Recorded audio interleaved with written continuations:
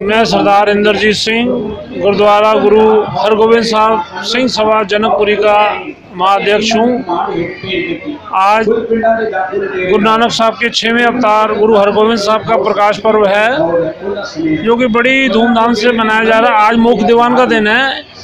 इसकी शुरुआत 9 तारीख से हो चुकी है और उस दिन नगर कीर्तन नगर कीर्तन के बाद कीर्तन दरबार लगातार 10, 11, 12 टाड़ी दरबार कीर्तन दरबार।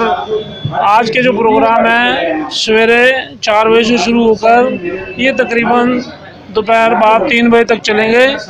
इसमें गुरु जी का लंगर बाहर से आए हुए रागी जत्थे। इस टाइम कथा चल रही है जो कि अमृतसर साहब से भाई बलदेव सिंह जी आए हैं। गुरु साहब के जीवन के बारे में प्रकाश डाल रहे हैं। और इसके बाद दरबार साहब अमृतसर से आए रागी जत्थे कीर्तन करेंगे।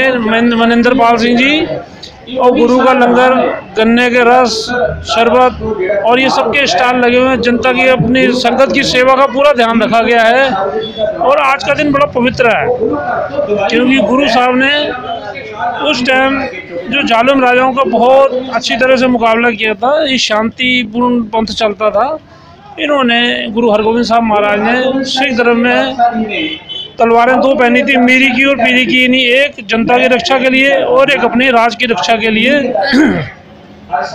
तो ये गुरु साहब थे, इन्होंने फौज भी रखी और उस टाइम के दुष्ट राजाओं का मुकाबला भी किया।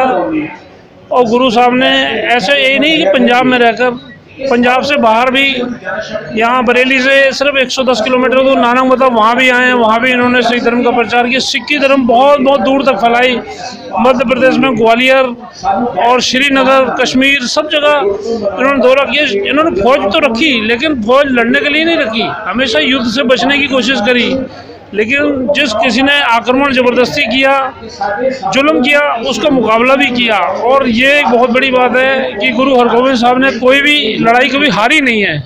हमेशा जीती है। इसलिए ये हम लोग को प्रेरणा देती है कि शांति बनाई जाए, लेकिन शांति की एक हद है। जो आदमी ज़बरदस्ती चढ़ के आता है अत्याचार करता है, उसका मुकाबला भी बहुत सख्ती के साथ हमें करना होता है। यही है। धन्यवाद। और कल अमृत संचार है। अमृत संचार में हमारे जो पाँच गुरु, पाँच सिंह साहबान जो हैं, ये दिल्ली से आ रहे हैं, दिल्ली गुरुद्वारा कमेटी से। ये अमृत संचार करवाएँगे। उसके बाद इस प्रोग्राम का समापन हो जाएगा। मैं अपनी तरफ़ से हिंदू, मुस्लिम, सिख, ईसाई सभी अपने देशवासियों को बरेली वासियों को लाख लाख बधाई देता हूँ